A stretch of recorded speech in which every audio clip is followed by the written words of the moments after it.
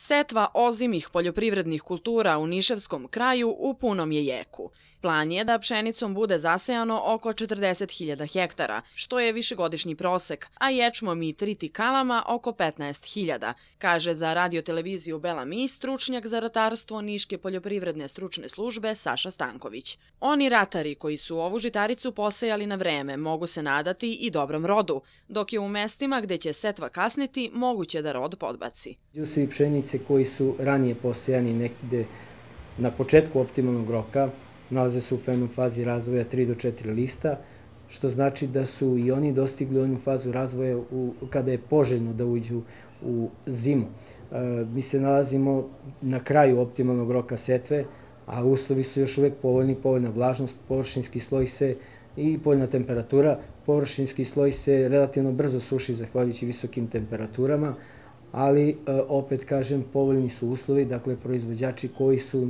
namerili se da seju i dalje e, pšenicu i ostala strna žita, mogu da seju. Poljoprivrednici trenutno nemaju potrebu da intervenišu u pogledu primene agrotehničkih mera, ukoliko su uradili dobru predsetvenu pripremu.